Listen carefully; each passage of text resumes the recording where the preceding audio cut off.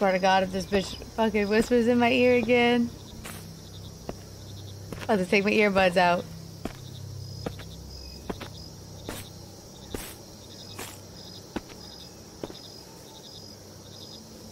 Make sure I don't have a kid or something behind me. Ah!